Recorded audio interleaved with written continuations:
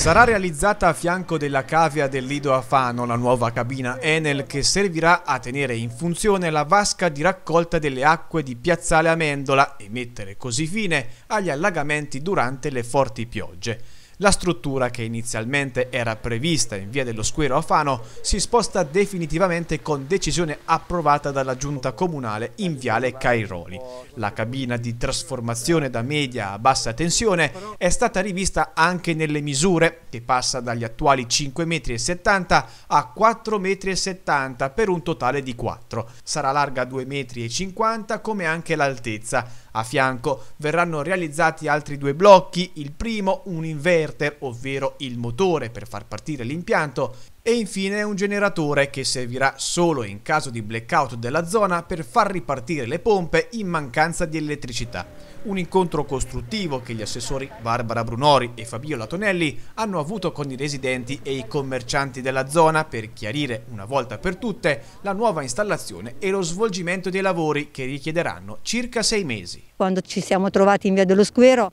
naturalmente a pensarla in uno spazio di verde pubblico dove naturalmente andava ad uturpare quello che era un progetto di porto, per cui ci siamo riadoperati a trovare un'ulteriore soluzione che tendo a sottolineare che non è che dipende eh, dalla miglior posizione che noi possiamo individuare come assessori, ma dipende da una posizione tecnica fattibile anche a tutti gli enti che sono preposti poi in questa collocazione. Inoltre Brunori ha sottolineato come questa cabina, una volta conclusa, verrà decorata e ben nascosta mi sento di dire che eh, una volta mitigata in questo spazio con uh, del verde ma anche poi eh, degli arredi eh,